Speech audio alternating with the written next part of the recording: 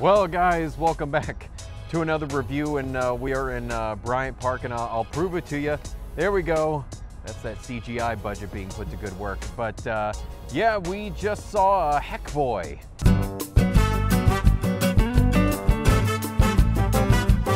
Yes, we saw Hellboy.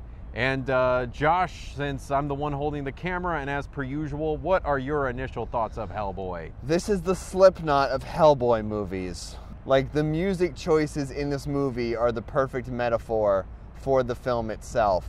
You have a beautiful scenic shot of Hellboy and a bunch of English huntsmen riding horses through the English wood in the middle of, you know, England.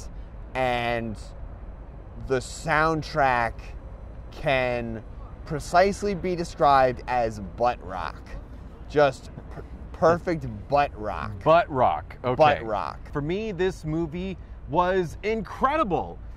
Lee average. It was incredibly average. I I mean, there were some good highlights. Like there were some parts that kind of had me invested, and then there were other parts where it was like getting to. It, it, it was almost like it was trying to push to that next level, but it couldn't get there. I don't know if that makes any sense. And like every like it just fell flat. It's definitely not as bad as, as what a lot of people are saying. Uh, but yeah, just incredibly average. So um, I feel like it's the the curse of Milla Jovovich because Ooh, every wow. movie besides The Fifth Element, every movie that she's in, like whether it's the Resident Evil movies or that crappy Three Musketeer movie that she was in, like maybe in the early 2010s, Yeah.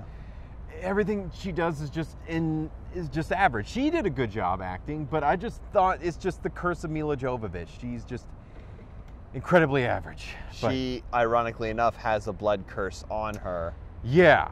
I, and I think I think maybe the director or writer kind of was winking at the audience, like, yeah, yeah, it's a, a blood curse, aka a box office curse.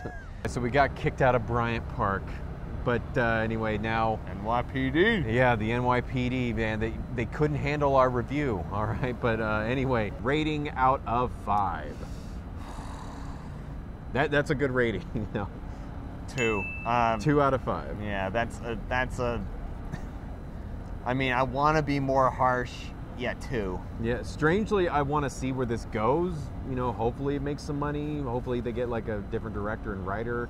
I'll be a tiny bit generous because I did like some of the character designs, and David Harbour did carry the film well. I'll give it uh, a slightly generous two and a half. So two and a half out of five. So I again, I thought it's incredibly average. So I will give it an incredibly average rating. Uh, but anyway, guys. Uh, don't forget to uh, like the YouTube page. Also, yeah, subscribe to the YouTube page.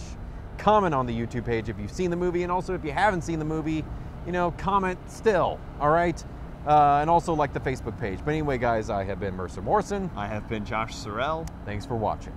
Bye.